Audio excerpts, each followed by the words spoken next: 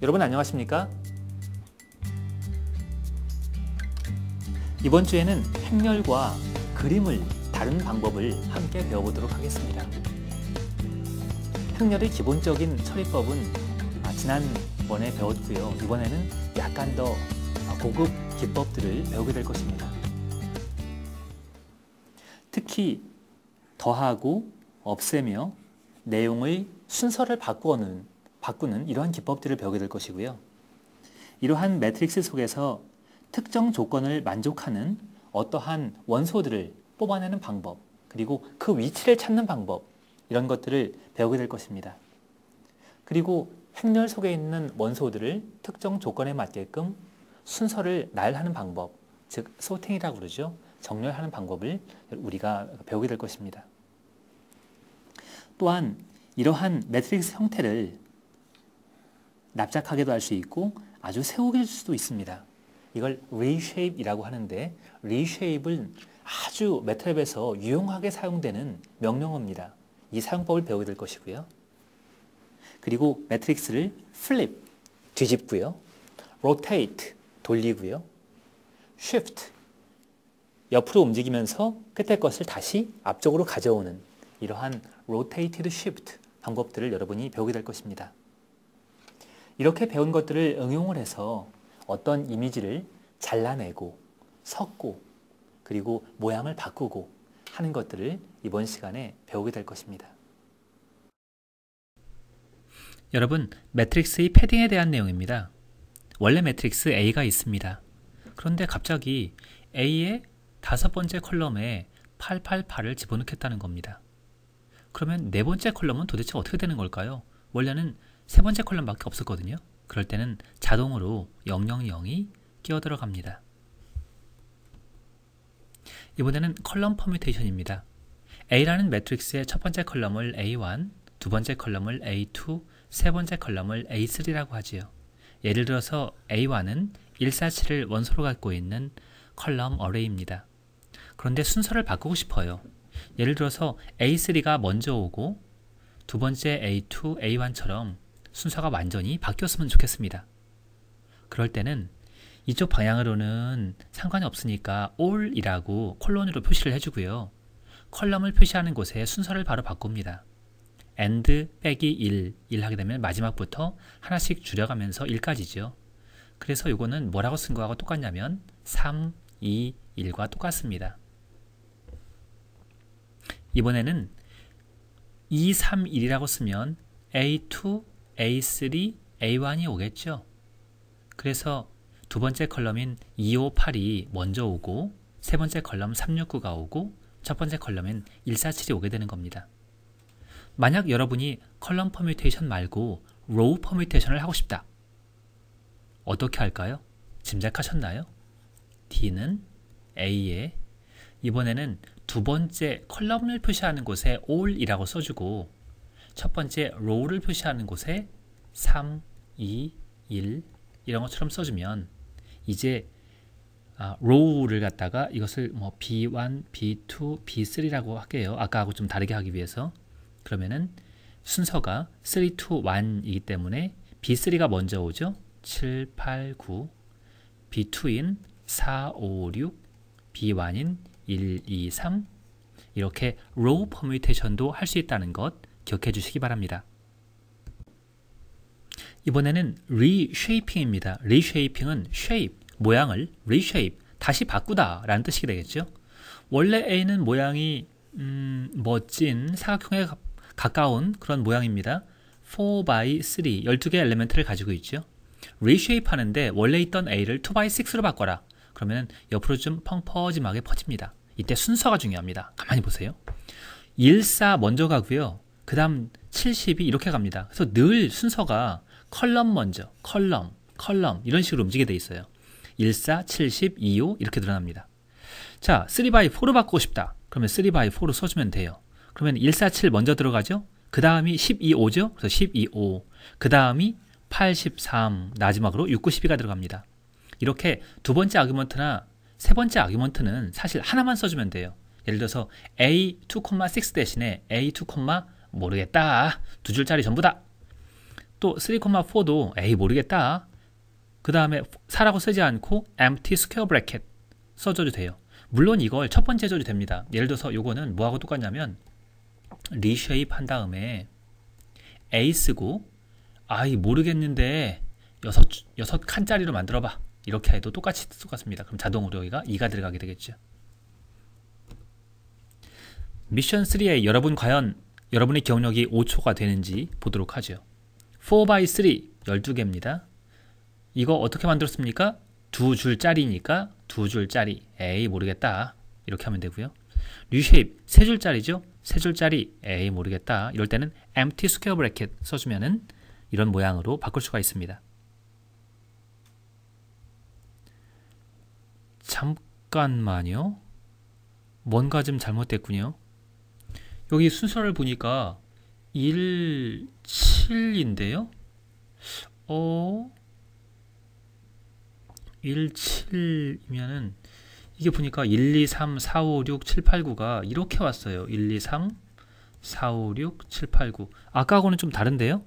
아까는 1, 4, 70 이런 순서였는데 여기는 음, 어떻게 하면 이렇게 할 수가 있을까요? 아, 이건 좀 챌린징하군요. 아, 제가 너무 우습게 봤던 것 같습니다. 이런 경우에는 음, 1, 2, 3, 4, 5, 6, 7, 8, 9, 10, 11, 12를 이렇게 하고 싶다. 어, 떻게 하면 A 모양을 이렇게 할 수 있을까요?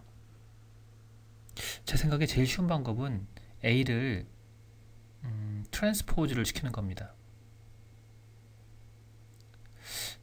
이렇게요. 그러면 A의 트랜스포즈를 시키면은 1, 2, 3이 이렇게 되거든요. 1, 2, 3, 그 다음에 4, 5, 1, 2, 3 순서대로 되고요. 4, 5, 6이 이렇게, 그 다음에 7, 8, 9가 이렇게, 10, 11, 12가 이렇게 되거든요.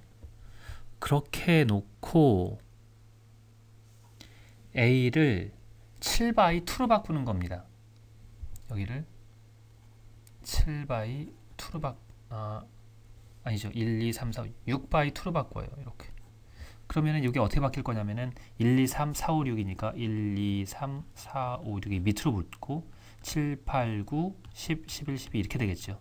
그 다음에 전체를 옆으로 팅 하는 겁니다. 아, 결론적으로 아 이거 상당히 함정이 있었군요. 함정이 있었군요. reshape A에 prime 한 다음에 6,2를 하고 거기에 다시 prime을 해야 이 모양으로 될 수 있군요. 어, 밑에도 그러면 함정이 있나요? 비교를 해보죠. 오, 147이 아니고 159네요. 아, 1, 2, 3, 4가 또 이런 순서로 되어 있군요. 아, 역시 A를 트랜스포즈 시켜가지고 넣은 다음에 원래를 4by 3로 바꿔주고 그 다음에 다시 트랜스포즈를 시켜줘야 이 모양이 되는군요. 아, 까딱하면 큰일 날 뻔했습니다. 이번에는 replicate array 쓰는 방법을 알아보죠. replicate 뜻은 복제입니다. 자, 자기 복제의 명수가 바로 replicate matrix, rpmhat라는 함수입니다. 원래 A라는 것이 4x3 매트릭스인데 그 중에 가운데 있는 4, 5, 6, 7, 8, 9만 빼서 자기 복제를 통해서 이것을 이 덩어리를 2x2 덩어리로 바꾸고 싶어요. 그러면은 우선 뽑아내야 되겠죠. A의 두 번째 줄부터 세 번째 줄까지의 모든 컬럼들을 만들었습니다. 그게 이제 요거죠. 빨간한 거 요거. 이걸 갖다가 이 덩어리째 2x2로 한 거예요. 2x2니까 덩어리째 이렇게 네 개가 내가 생긴 겁니다. 토탈 하면은 4x6 매트릭스가 생긴 거죠. 이렇게 자기 복제하는 함수가 바로 replicate matrix라는 함수입니다. 자, 이번에는 2차원 array를 마치 1차원 array처럼 쳐다보고 indexing하는 방법. 이것이 바로 single indexing이라고 합니다. 왜 싱글이냐? 2 dimensional인데 마치 1차원 single dimension인 것처럼 보는 거거든요. 이게 메모리에 어떻게 저장되는지 그 순서를 알 필요가 있어요. 누누이 말씀드리지만 column first 1470이 이 방향으로 먼저 들어갑니다. 그래서 순서를 보시면요. 가만히 보면은 늘 이렇게 순서가 이렇게 되어 있어요. 1, 2, 3, 4, 5, 6, 7, 8, 9, 10, 11, 12 이런 순서로 되어 있어요. 그래서 A에 3,2가 뭐냐 하면은 3,2니까 8이죠. 그죠? 어, 그거 8이에요. 알아요. 간단하게 그러면은 A의 몇 번째냐? 1, 2, 3, 4, 5, 6, 7, 일곱 번째예요. 그것도 역시 8입니다. 요 3, 2와 7 사이를 왔다 갔다 하면서 서로 바꿔주는 것 그것이 바로 sub to index 또는 index to sub라는 함수입니다. 어떻게 동작하는지 가만히 보시죠. sub to index 다음에 A의 사이즈를 알려주고 3,2에 해당되는 것은 몇 번째 물어보면 그거 일곱 번째요 라고 알려줍니다. 3,2는 우리 일곱 번째인 거 알았죠? 그래서 A의 일곱 번째를 빼라! 그럼 당연히 8이 나오죠. 이번에는 A의 열 번째는 몇 콤마 몇이게 그것이 바로 index to sub입니다. 사이즈를 알려주고 열 번째를 알려주죠. 그러면 열 번째는 아하 2,3죠. 그래서 R에는 2, column에는 3이 들어갑니다. logical array는 array는 array인데 속에 있는 element가 logical 즉 true냐 false냐 value를 갖는 거예요. 예를 들어 볼게요.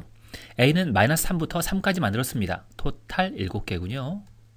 그런데 ABS A, A의 절대값이 1보다 큰 것 하자마자 A의 원소인 7개가 각각 이 연산이 실행이 돼서 true와 false로 계산이 됩니다. true는 1로 나타내고 false는 0으로 나타내져요. 이거 쓰는 방법이 참 희한합니다. 여기 한번 보시죠. ABS A가 1보다 큰 것, 그러면 110011이죠. 그걸 A에서 인덱싱을 했더니 0에 해당되는 부분은 홀라당 빼고 1에 해당되는 부분인 마이너스 3과 마이너스 2 여기서 가져왔죠. 그리고 끝에 1인 2와 3을 이렇게 가져와가지고 새로운 어레이가 만들어집니다. 즉 logical array 값을 array index로 사용하는 경우 true만 적용이 되고 false는 사라진다 라는 결론을 얻을 수가 있죠. 여기에 또 하나의 example이 있습니다. logical은 숫자 1,0을 true, false로 타입을 바꿔주는 것이 logical이라는 함수거든요. 1빵 1빵 111 원래는 숫자였어요. 그런데 logical로 바꾸자마자 true, false, true, false, true, true, true로 바뀝니다. 그래서 0이 돼 있는 자리는 빼먹어요. 아하, 마이너스 3, true니까 가져왔어요. 마이너스 2는 false니까 안 가져와요. 그 다음 거 true니까 가져오고 이런 식으로 된 것이 요 마지막 array입니다. 기억해야 될 것. 로지컬 true를 어레이 인덱스로 사용하면 거기에 해당되는 값을 가져오고 false를 사용하면 가져오지 않는다. scalar expansion 알아보죠. 이거 참 희한한 겁니다. A는 3, 스칼라죠. 스칼라란 벡터나 매트릭스처럼 원소가 여러 개가 아니라 단 하나만 있는 것, 이것이 스칼라입니다. 그런데 A에 스칼라에 인덱스로 매트릭스를 집어넣었어요. ones 2,3는 ones는 일들이란 소리죠. one, 복수, 드, ones니까요. 2x3는 1, 1, 1, 1, 1, 1인 것처럼 두 줄의 세 column으로 만드는 겁니다. 이걸로 indexing을 했더니 사이즈는 이거하고 똑같이 유지를 하면서 원래 있던 3이 카피가 돼서 333, 333, 2x3 매트릭스가 생겼습니다. 더 놀라운 일은 이 B의 이곳이 B인데 이 B의 모든 원소에 2를 채워라 하면은 자동으로 빠박 2가 다 들어가 버립니다. 이것이 바로 all이라는 거 여러분 여러 번 여러 번 보아왔습니다. B는 true 2,3 true는 아까 로지컬에서 1을 뜻하거든요. 그래서 오로지 1로만 되어 있는 2x3 매트릭스를 만들고요. B의 두 번째 줄 여기죠. 두 번째와 세 번째 컬럼 여기죠. 는 false 0으로 바꾸어라 했더니 이렇게 바뀌는군요. 이번에는 어레이를 sorting, 정렬해 보도록 하겠습니다. 정렬이란 순서대로 놓는 것이 정렬이죠. 랜드펌 다음에 어떤 정수를 주게 되면 1부터 그 숫자까지 막 뒤집어 섞어가지고 순서를 막 이렇게 만들어 놓는 거예요. 2, 3, 5, 4, 6, 1 전혀 순서가 없죠. sort를 하게 되면 오름차 순으로 정리를 해, 정렬을 해줍니다. 1, 2, 3, 4, 5, 6 반듯하게 정렬이 됐죠.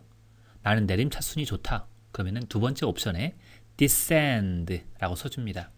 descend는 내려가는 이라는 형용사고요. ascend의 반대말이에요. ascend는 상승하는, 올라가는, descend 내려가는, 내림차수는 descend라는 옵션을 줍니다. 그러면 65431 이렇게 됐죠. 소팅 할 때 몇 번째 인덱스에서 뽑아왔느냐를 알고 싶을 때는 출력 value로 하나를 더 줍니다. 이렇게 인덱스를 주게 되면 XS는 sorting된 결과 그렇지만 IDX는 원래 그것이 어디에 있었는지 예를 들어서 1이 어디에 있었느냐 맨 마지막에 있었거든요. 여섯 번째 있었어요. 그래서 인덱스에는 6이 들어가는 겁니다. 5는 어디에 있었느냐 세 번째 있었군요. 그래서 3이라고 되어 있는 겁니다. 이번에는 행렬을 한번 정렬을 해보도록 하지요. 늘 말씀드리지만 column 우선입니다. 그래서 이러한 matrix를 sorting하라고 하면 48로 sorting하면 458이죠. 268, 2, 어, 제대로 되어 있네요. 268은. 063, 036이죠. 857, 어, 578이죠. 이렇게 각각을 따로따로 sorting을 해요. 그런데 굳이 행 방향으로, 즉, row 방향으로 하고 싶다. 그러면 dimension을 써줍니다. 이거 보고 sorting dimension이라고 그래요. row 방향으로 sorting하게 되면은 4208을 sorting하면 0248이죠. 0248. 5837을 sorting하면 3578이죠. 3578. 이렇게 정할 수가 있습니다. 보통은 정렬을 할 때 특정 축을 중심으로 정렬을 하게 됩니다. 이렇게 축이 되는 것을 우리는 pivot이라고 얘기를 합니다. 예를 들어서 A라는 matrix가 이렇게 되어 있을 때 세 번째 column을 중심으로 나머지를 sorting을 하고 싶어요. 그래서 이것을 묶습니다. 이것을 한 덩어리로 보고요. 세 번째 column인 063을 가지고 sorting하기 때문에 036이 되겠죠. 첫 번째를 A1, 두 번째를 A2, 세 번째를 A3라고 합시다. 그러면은 가장 작은 것이 0이니까 A1이 먼저 오고요. 그 다음은 3이니까 A3, 그 다음은 6이니까 A2가 이렇게 오겠죠. 이렇게 다른 column의 value를 쳐다보지 않고 한 column의 value만 쳐다본 후 묶어서 즉 그 세 번째 column을 축으로 해서 sorting하는 방법 이것이 바로 pivot을 이용한 sorting 방법입니다. 어떻게 하느냐? 우선 인덱스를 구해요. sorting하면서 세 번째 column만 sorting하면서 인덱스를 구합니다. 그 결과값은 사용하지 않습니다. 그 TMP 대신에 물결 표시라고 써도 상관이 없어요. 그리고 column permutation 대신에 row permutation을 이용을 해서 A에 인덱스를 집어넣고 모든 column에 대해서 라고 하면 이 결과를 얻을 수가 있습니다. 이번에는 서버레이 서칭을 알아보도록 하죠. search니까 찾는다죠. 뭘로? find로. A라는 매트릭스가 여기 있습니다.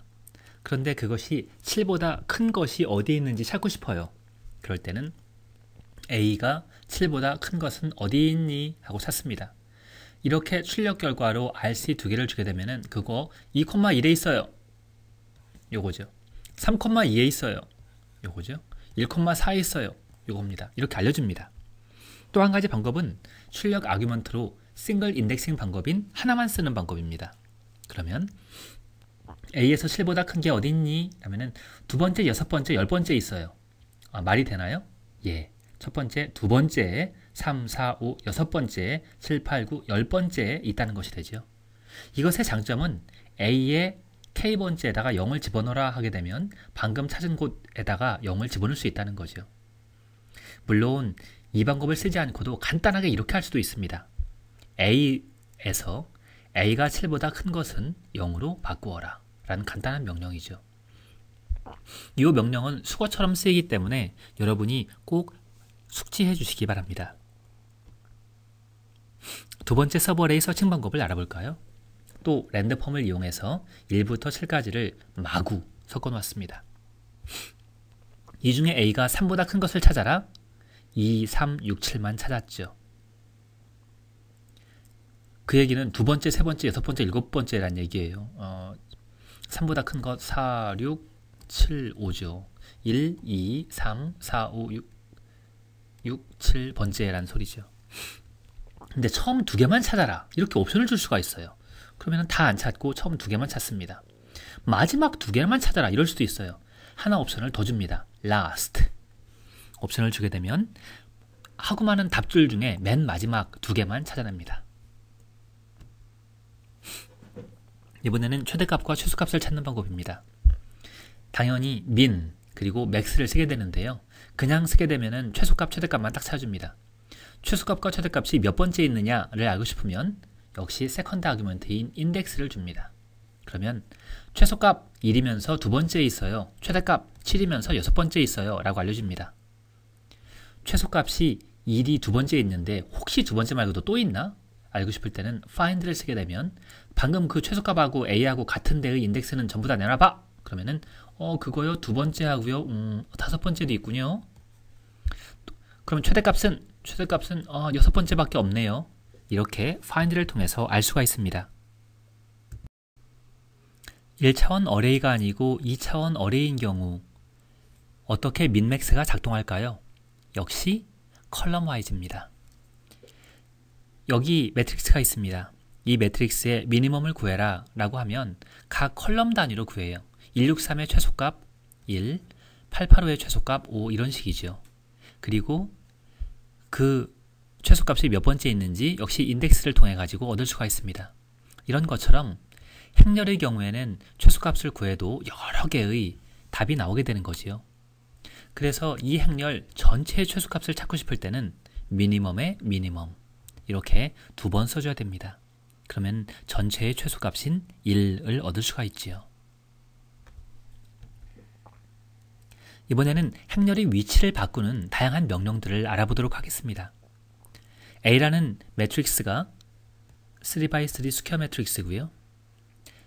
위치를 어떻게 바꾸냐면 flip up down. flip은 휙 뒤집다 라는 소리입니다. up down 위아래로 뒤집어라. 그러면은 위아래가 바뀌기 때문에 1, 2, 3이 맨 밑으로 가고요.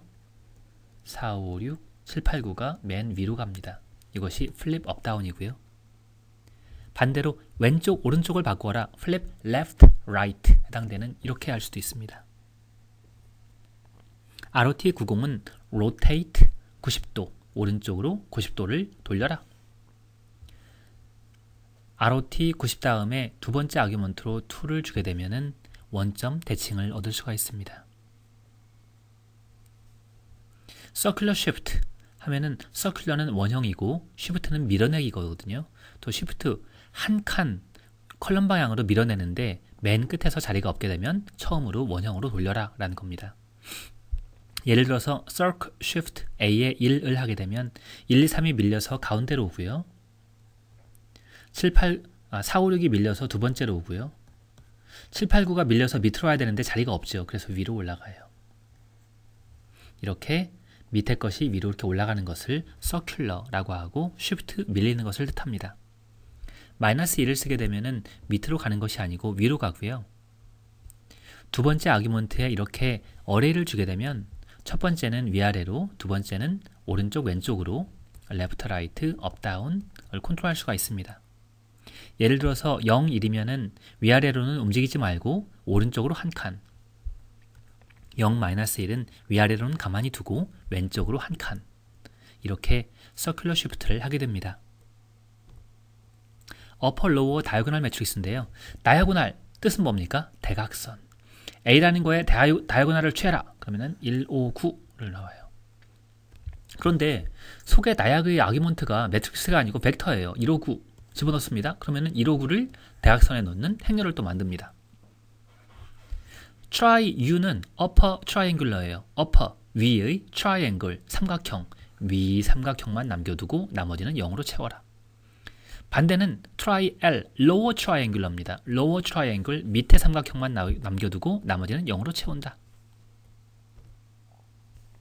방금 배운 다양한 이런 것들을 이용하면 이미지를 쉽게 다룰 수가 있습니다. 여기 있는 아 안타깝군요.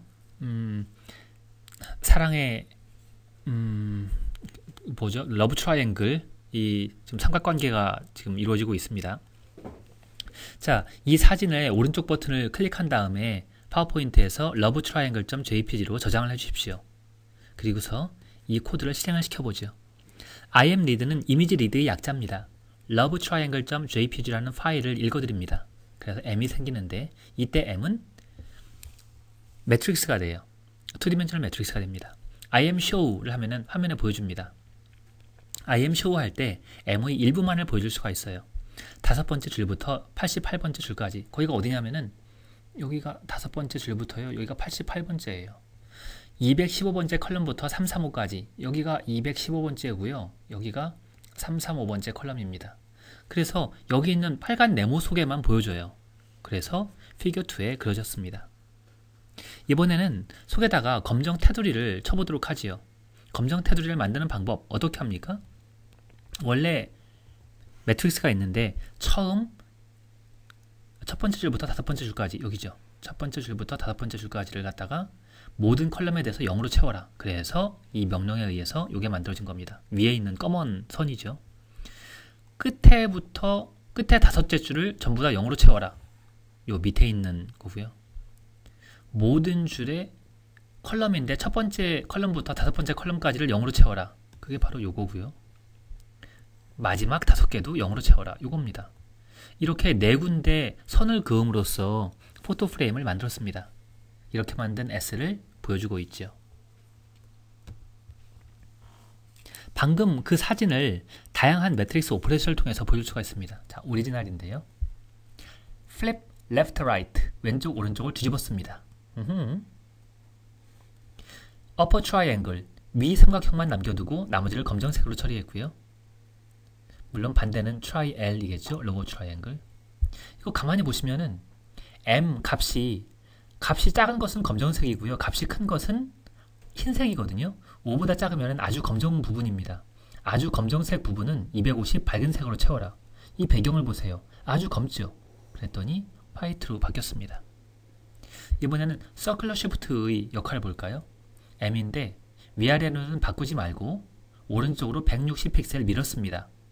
그랬더니 흠, 새침데기처럼 다른 곳을 쳐다보게 됐죠. flip up down 위아래를 뒤집었습니다. 이렇게 매트릭스를 다루는 다양한 함수를 통해서 이미지를 바꿀 수 있다는 것을 우리가 알 수 있습니다. 이번에는 아예 처음부터 이미지를 만들어 보죠. 여기 있는 이미지를 어떻게 만들었는지 보시기 바랍니다. 아, 더군다나 컬러죠. 자, 컬러는 어떻게 되어 있느냐? 2x2 매트릭스인데 거기에 각각의 element가 하나의 픽셀로 되어 있습니다. 픽셀은 picture element의 약자입니다. 이 각각의 픽셀은 RGB value로 이루어진 array로 되어 있습니다. R은 빨강색이고요. R for red, G for green, B for blue겠죠. 각각의 RGB 밸류는 8비트 밸류이면서 0부터 255에 해당됩니다. 0은 없다, 검정색이고요. 255는 많다, R이면 아주 빨강색, B면 아주 파랑색이라는 의미입니다. 만들 때 조심해야 되는 것은 반드시 unsigned integer 8비트짜리로 만들어야 된다는 겁니다. unsigned는 마이너스가 없다. 인티저는 정수다. 즉 0.7 값이 존재하지 않는다. 빨강색 0.7 이런 게 없다는 얘기예요. 끝에 있는 8은 8비트란 소리입니다. 8비트는 표현할 수 있는 것이 0부터 255거든요.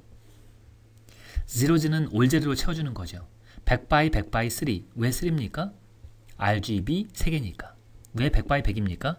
이쪽으로 100픽셀, 이쪽으로 100픽셀이라는 의미죠.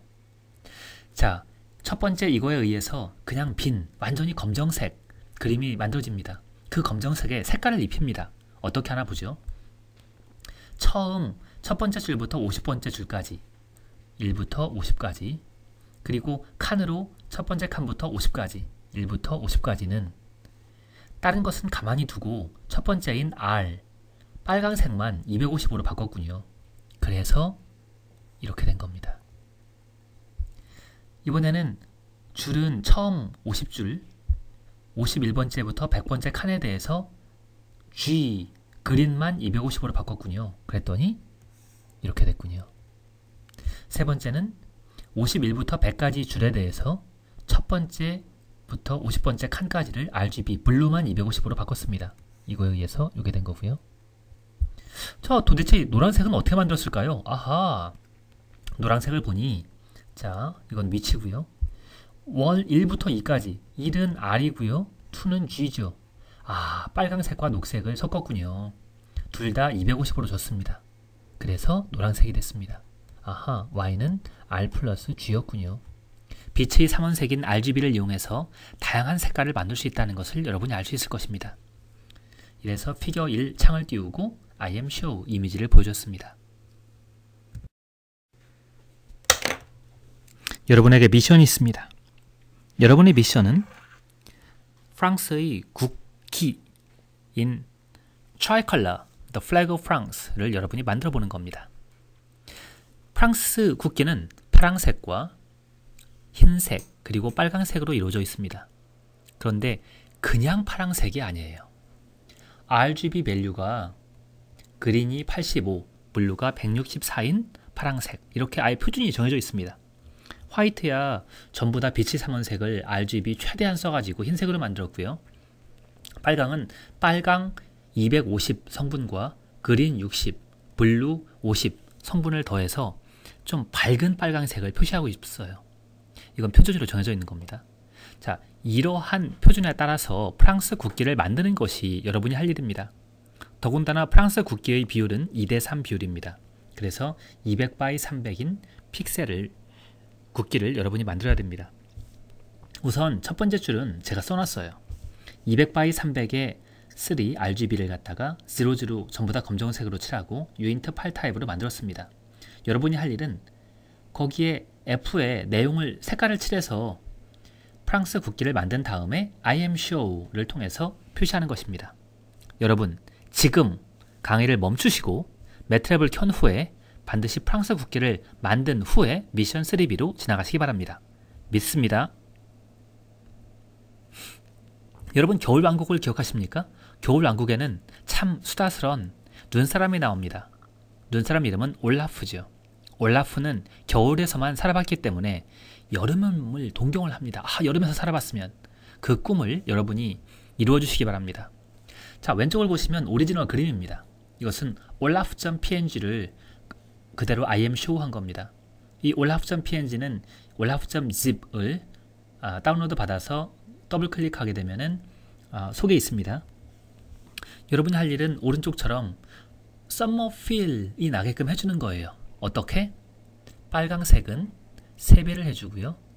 파랑색은 반으로 줄여가지고 이렇게 해주면 오른쪽처럼 그림이 바뀝니다. 그래서 여러분은 원래 오리지널 IM 리드를 통해서 C를 읽은 다음에 M을 바꿔주시고 M은 C를 한 다음에 M의 빨간색 성분이라든가 이런 것들을 바꿔주셔서 오른쪽과 같이 나타나도록 해주시면 됩니다. 여러분 고민해 보시고 역시 해결해 보십시오. 여러분 자동차 좋아하십니까? 여기에 왼쪽에 페라리가 있습니다. 우리가 할 일은 이 페라리가 너무 좋아서 바깥쪽에 컬러로 된 photo frame 틀을 만들어주고 싶습니다. 왜 안쪽으로 안 만드느냐? 안쪽으로 만들면은 아, 조금 여기, 여기 다칠 것 같아요. 그래서 바깥쪽으로 이렇게 프레임을 만들어주는 겁니다. 어떻게 하면 될까요? 스텝 1. 원래 오리지널 그림보다 조금 큰 틀 하나를 만듭니다. 빈 그림을 만들고요. 그림, 그 그림의 가운데다가 오리지널 페라리를 갖다 놓고요. 그 다음에 프레임을 갖다가 여기는 빨강색이죠. 여기는 blue죠. 여기는 green이죠. 여기는 빨강색이죠. 이렇게 칠하는 겁니다. 그런데 그때 gradient를 넣어줘서 점점 빨갛게, 점점 파랗게, 점점 초록색으로 이런 것들을 이렇게 넣어주는 거죠. 자, 어떻게 하면 될까요? 걱정하지 마십시오. 솔루션이 여기 있습니다. 여러분이 할 일은 이 솔루션을 제대로 이해하면서 어떻게 컬러를 조정하는지 여러분이 깨닫는 것입니다. 마찬가지로 슬라이드에서 오른쪽 버튼을 누르시고 아, 다운로드 또 unzip하셔서 내용을 전부 다 얻으실 수 있습니다. 코드 설명을 한번 드리죠. ferrari.png라는 파일이 있습니다. imread를 통해서 읽었습니다. 컬러니까 몇 by 몇에 3로 되어 있는 3차원 array일 것입니다. imshow 화면에 보여줍니다. 우선 size F를 통해서 그 크기가 m by n 그 그림이 m 픽셀, n 픽셀을 구할 겁니다. uint8을 통해서 원래 사이즈보다 40픽셀씩 큰 걸 만듭니다. 이쪽으로 20픽셀, 위아래로 20픽셀씩 다 더하죠. 그래서 토탈 원래 오리지널보다 40픽셀씩 큰 걸 만들어요. 그런 다음에 그 속에다가 그 P를 만들고 속에다가 올, 오리지널 F를 집어넣습니다. 여기 F가 되겠죠? 집어넣어요. 그 다음에 여기 있는 네 줄을 통해서 각각 프레임을 만듭니다. 프레임은 어떻게 만들었을까요? 우선 친숙한 replicate matrix를 썼군요. replicate matrix는 어떤 매트릭스가 있으면 그걸 20 by 1로 복제하는 거라고 그랬죠. 어떻게 했을까요? 소개를 가만히 보니 mod를 썼습니다. mod는 256으로 나눈 나머지 할 때 이렇게 콤마 256 하는데요. 소개는 뭔고 하니 0부터 n1 빼기 1까지 증가합니다. n1은 뭐였냐면은 사이즈죠. column의 수입니다. 이쪽이 n1이죠. 바깥쪽이 이렇게 0부터 n1 근데 n1은 256보다 더 클 수 있어요. 그래서 0부터 쭉 늘어나죠. 255까지 그런데 색깔은 255까지가 최대잖아요. 다시 0부터 쭉 늘어나는 식으로 돼요. 그러면 자동으로 gradient가 생깁니다. 그걸 20 by 1 했으니까 하나를 만들고 밑으로 20 by 1로 복제를 했군요. 그래가지고 여기다 씌우는 겁니다. R이니까 여기가 빨강색, 빨강색이고요. 2니까 green, 세 번째니까 blue입니다. 이런 식으로 다 테두리를 만든 후에 I am show 다시 보여주고 I am write를 통해서 저장을 합니다. 그래서 우리의 페라리를 framed 사진 이거 뭐 사진 틀이라고 그러죠. 사진 틀을 씌운 새로운 페라리를 만듭니다. 또 다른 미션 아주 재밌는 미션이 있습니다. 역시 겨울왕국에서 모티브를 따왔는데요. 왼쪽 그림을 보시고 오른쪽처럼 만드는 것 이거에 여러분이 할 일입니다. 어떻게 할까요? 자, 여기에 detailed instruction이 있습니다. 이미 제가 프로그램을 다 짜놨습니다. 퍼즐4라는 프로그램입니다. 퍼즐4 속에 여러분의 학번을 넣어주세요. 2015학번이면 이렇게 되겠죠? 퍼즐4에 자기 학번을 넣어주면 퍼즐4.png라는 파일이 생길 겁니다. 여러분은 퍼즐4.png를 imread를 통해서 읽어서 imshow를 통해서 쳐다봐 주세요. 그래서 고민을 합니다. 어떻게 이것을 섞으면 오리지널 그림이 될까? 그리고 그 답을 P에 적습니다. 여러분이 답 P를 만든 후에 solve for P라고 주면 여러분이 제대로 풀었으면 제대로 된 그림이 나올 겁니다. 자, 그럼 문제는 P를 어떻게 만드느냐라는 거예요. P는 4x4 매트릭스입니다. 4x4 매트릭스니까 엘리멘트가 16개가 있겠죠. 그런데 P의 m by nth 엘리멘트는 블락 인덱스, 제대로 된 퍼즐4.png의 몇 번째인지를 알려주는 겁니다. 예를 들어 볼게요. 자, 이게 제대로 된 거죠. 이렇게 4x4로 딱 잘랐습니다. 예를 들어서 첫 번째 P의 1,1은 어디로 가야 되죠? 이거의 첫 번째죠. 그래서 1이라고 씁니다. 자, 두 번째 뭐죠? 이거는 P의 1,2가 요걸 겁니다. 이거는 오리지널 그림의 몇 번째일까요? 1, 2, 3, 4, 5, 여섯 번째죠. 그래서 여기다가 6이라고 쓰는 겁니다. 알겠죠? 하나 더 해볼까요? P의 아, 1,2가 아니고 이거 2,1이죠. 아, 요 그림이니까. P의 4,1은 뭘까요? P의 4,1은 여기 있죠. 이거는 오리지널에서는 어디에 있죠? 여기 있습니다. 이 몇 번째죠? 1, 2, 3, 4, 5, 6, 7, 8, 9, 10, 11, 12, 13, 14, 14번째죠. 그래서 여기다가 14라고 쓰는 겁니다. 이런 식으로 P를 다 만들어 가지고 솔브4에다가 그냥 집어넣어줘요. 솔브4는 제가 짜놨습니다. 그러면은 짜잔 여러분이 제대로 했으면 이러한 제대로 된 그림이 탁 나타났을 겁니다. 여러분이 조금 더 흥미가 있고 어떻게 퍼즐4와 솔브4를 짰는지 알고 싶으시면 그 속에 있는 내용들을 한번 살펴보시기 바랍니다. 그러면은 재미있는 사실들을 발견할 수 있을 겁니다. 아, 여러분 참 고생 많으셨습니다. 아, 이 페이지는 보너스입니다. 이 각각에 대해서 그 아, 명령들이 어디에 설명되어 있는지 페이지 수를 이쪽에 나타내 주고 있고요. 페이지 그리고 하이퍼링크로 각각을 클릭하시면은 이 부분이 설명된 슬라이드로 이동하도록 되어 있습니다. 아, 예를 들어서 아, min이나 max에 대해서 알고 싶으면 max를 클릭하면 은 17쪽에 설명된 max 페이지로 이동하도록 되어 있습니다. flip up down, up down 위아래로 뒤집는 거였죠. rotate 90도, 오른쪽으로 90도 돌리기, circular shift, upper triangle, lower triangle, image read, image show. IM tool 설명을 드리지 않았는데 IM tool 명령을 쓰게 되면 각 픽셀 value를 쳐다볼 수 있는 등 여러 가지 좋은 점이 많습니다. 이번 시간을 통해서 여러분은 매트릭스를 어떻게 다루는지 다양한 것들을 배웠는데요. replicate matrix는 자기 복제였죠. 어떤 모양이건 몇 by 몇으로 자기 복제를 할 수가 있었습니다. reshape은 모양을 바꾸는 거였죠. flip up down 기억나십니까? 위아래 뒤집기, flip left right 옆으로 뒤집기, 돌리기, 밀어내기가 있었습니다. 그리고 2차원 array를 가지고 sorting, 정렬을 할 수가 있었고요. find를 통해서 특정 조건을 만족하는 것들을 찾을 수가 있었습니다. 또한 최소값과 최대값을 구할 수가 있었고 최대값과 최대값이 어디에 있는지 인덱스를 구하는 것도 알았지요.